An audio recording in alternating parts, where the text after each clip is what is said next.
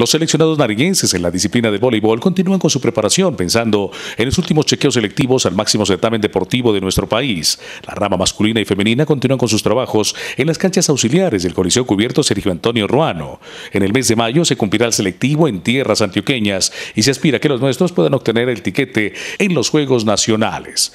Hay que resaltar que los dos seleccionados cuentan con el apoyo directo también del ente deportivo departamental.